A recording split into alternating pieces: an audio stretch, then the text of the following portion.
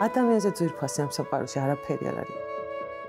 რა შეიძლება იყოს უფრო მეტი ინსპირაცია? ადამიანების მიმართ განსაკუთრებულმა სიყვარულმა საბოლოოდ მხატვრობამდე მიიყვანა. მიიჩნევს, რომ მის შემოქმედებაში განსაკუთრებული ადგილი ადამიანებს, მათ ემოციებს, თვალებსა და ისტორიებს უკავშირდება. ახლა ანი მაღლაკელიძის ისტორიებით სავსე ოთახში ვართ, რომელსაც საკუთარი ნამუშევრებით ყვება. აი, ასე გამოიყურება მისი ყოველი დღე. დღე, რომელიც არ არსებობს ფერების, ფუნჯისა და ტილოს გარეშე.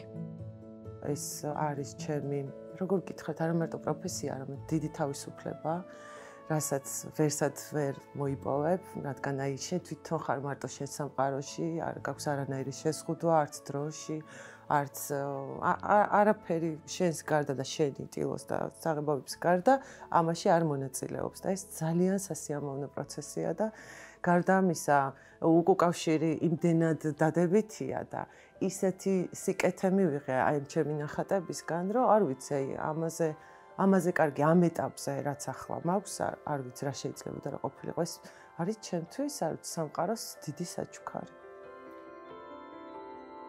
ეს არის ადგილი რომელთანაც როგორც თავად ამბობს ყველაზე წრფელ და გაუმჟღავნებელ ემოციებს აზიარებს ამბებს უყვება უკვე დასრულებული ტილოკი ამ ისტორიებს სხვებს უმხელს.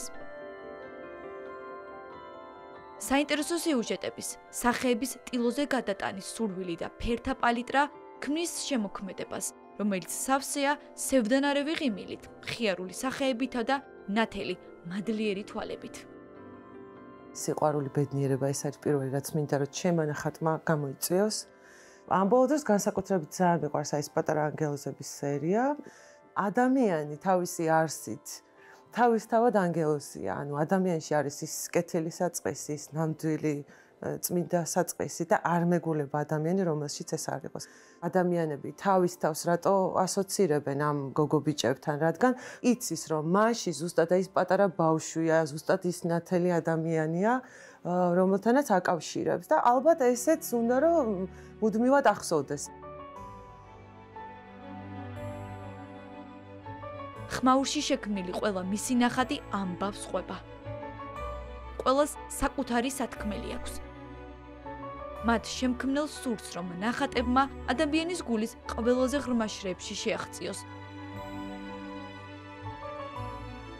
მასში ჩამქრალი სხივები გააღვიძოს და შემდეგ გააღვიოს.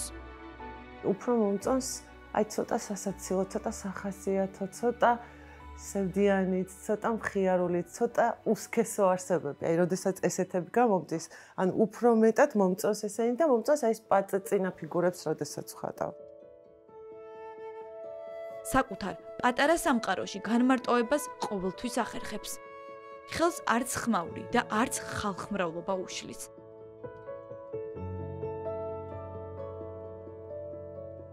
შემდეგ ფერებს აერთიანებს. სტილოზე გადმოაქვს და ამ გზით თავის სათქმელს ყველაზე ნათლად გამოხატავს.